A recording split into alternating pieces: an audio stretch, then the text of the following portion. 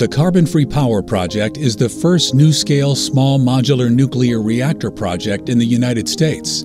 It uses NuScale Power's advanced light water reactor technology that is simplified, flexible, built in a factory, and is safer than traditional large reactors.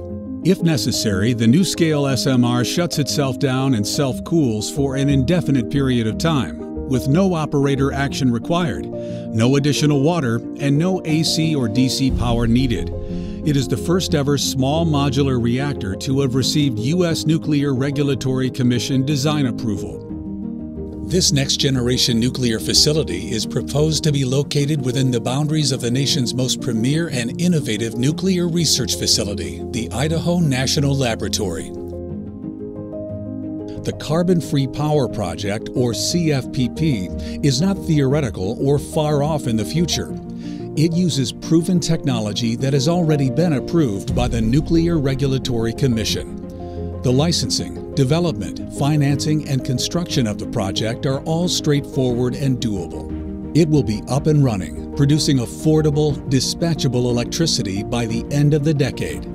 Each SMR NuScale power module is capable of producing 77,000 kilowatts of carbon-free power. A nuclear plant that houses 12 modules has a total output of 924 megawatts of energy.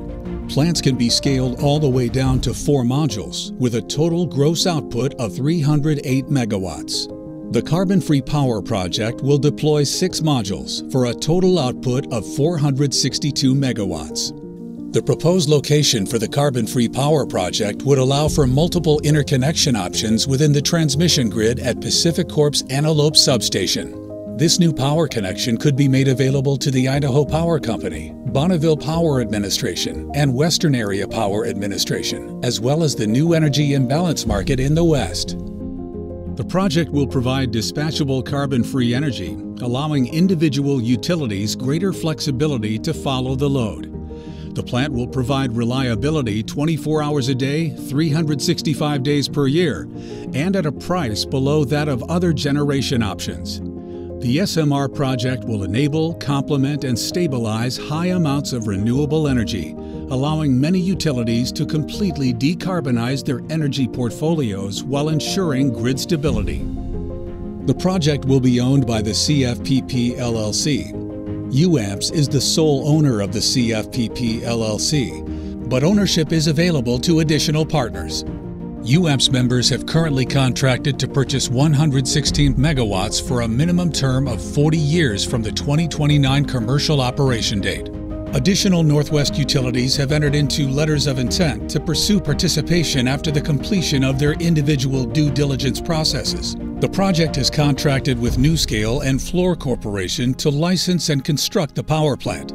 UAMPS has entered into a term sheet with Xcel, a very seasoned nuclear operator, to explore being the operator for the CFPP.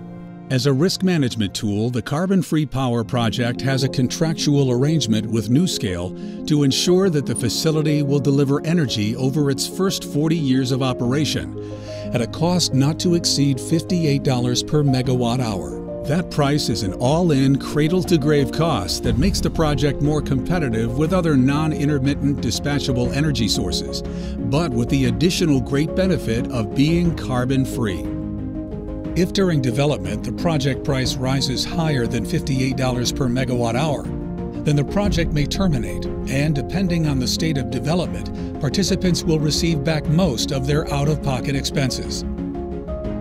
The U.S. Department of Energy is a key partner in the project. It has granted a cost sharing award of up to $1.35 billion. The cost share arrangement starts with DOE contributing close to 80% of the costs through the important development milestones, such as submitting the NRC license application and receiving a Class 1 site specific cost estimate for the project.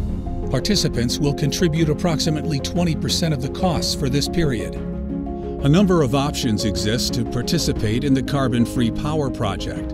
For example, public power utilities may join UAMPS as a member and participate through take or pay contracts. Other utilities may participate by entering into power purchase agreements or by becoming joint owners of the CFPP LLC. Join UAMPS and help bridge today's technology into tomorrow's carbon free energy needs.